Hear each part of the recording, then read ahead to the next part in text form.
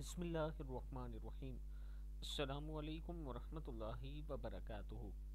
جس شخص کی رات کو آنکھ کھلے اور وہ یہ دعا پڑھ لے، ایسا وصیفہ کہ ہر دعا قبول ہونے لگے۔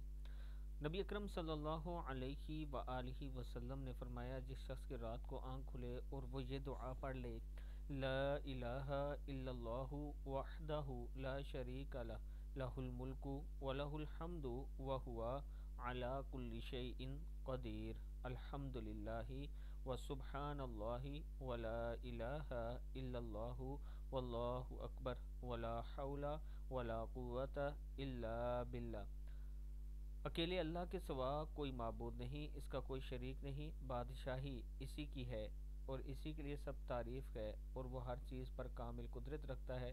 سب تعریف اللہ ہی کے لیے ہے اور اللہ پاک ہے اور اللہ کے سوا کوئی معبود نہیں اور اللہ سب سے بڑا ہے اور اللہ کی مدد کے بغیر نہ برائی سے بچنا ممکن ہے اور نہ ہی نیکی کی طاقت ہے۔ پھر اس کے بعد وہ یہ دعا پڑھ لیا کرے اللہ مغفر لی، الہی مجھے بخشی دیجیے یا کوئی اور دعا کرے تو اس کی دعا قبول کر لی جاتی ہے اور اگر وضو کر کے وہ نماز پڑھے تو اس کی نماز قبول کر لی جاتی ہے۔